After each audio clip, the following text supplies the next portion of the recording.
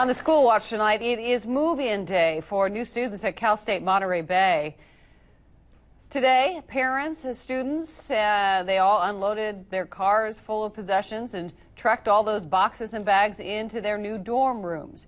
This is the 18th year in the school's history. Nearly 800 first-year students are in the process of moving in. Action News reporter Brittany Nielsen has more. She's live in Salinas.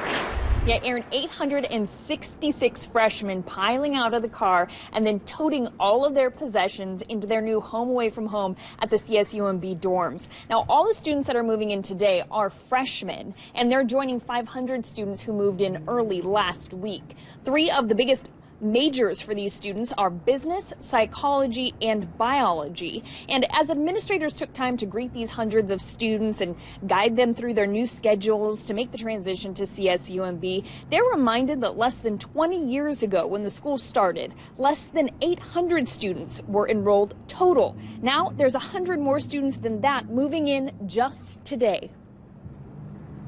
I think it's important for the president to be visible and for the students to know that uh, we care about them and that uh, we're all about the students. The big advantage to CSUMB is we're relatively small.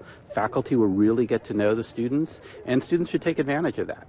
They should, you know, connect with the professors, find out what's needed in the class, see how they can get the help they need. We're just helping everyone move in. Uh, we've been helping the students get comfortable with like CSUMB and just making um, their transition easier.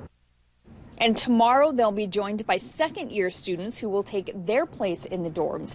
Now, 35% of students enrolled at CSUMB are from the San Benito, Santa Cruz, and Monterey County areas. And the biggest questions they were asking today is where?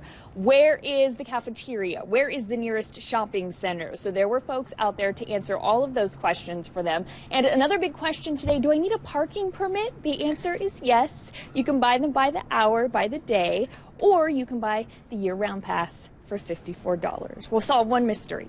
Aaron? having just lived through this, uh, the uh, move-in day, not at Cal State Monterey Bay, but I know it's, it's where's the Target, yes, where's the food, and in this case, leave the car at home. Yeah. All right, thank you, Brittany. Uh, total enrollment this year is up at Cal State Monterey Bay to 5,600 students. They are working in 23 undergraduate and graduate majors.